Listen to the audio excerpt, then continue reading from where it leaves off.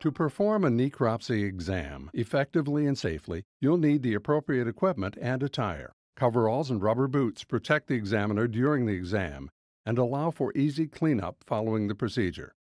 Rectal sleeves protect the examiner's arms, while safety glasses, a visor, or a face mask should be worn to protect the face from liquid splashback if zoonosis is a concern. Heavy duty gloves should be worn over the top of rectal sleeves. Some veterinarians also elect to wear a glove guard on the hand that doesn't hold the knife.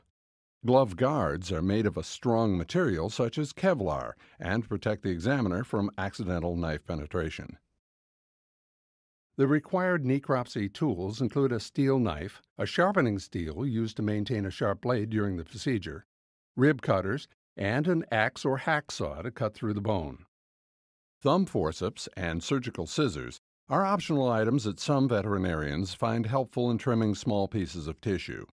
A flat wooden stick, such as a tongue depressor, should be included in your supplies for submitting samples of muscle and nerve for histology. A small propane torch and metal spatula are also recommended for searing tissues to collect aerobic and anaerobic bacteriology samples. A clipboard, necropsy form, and a pen are needed to record the medical history of the animal. And finally, basic cleanup supplies should also be on hand, including a large bucket to hold disinfectant solution, a scrub brush for cleaning boots and other equipment, and a disinfectant such as Virkon or bleach.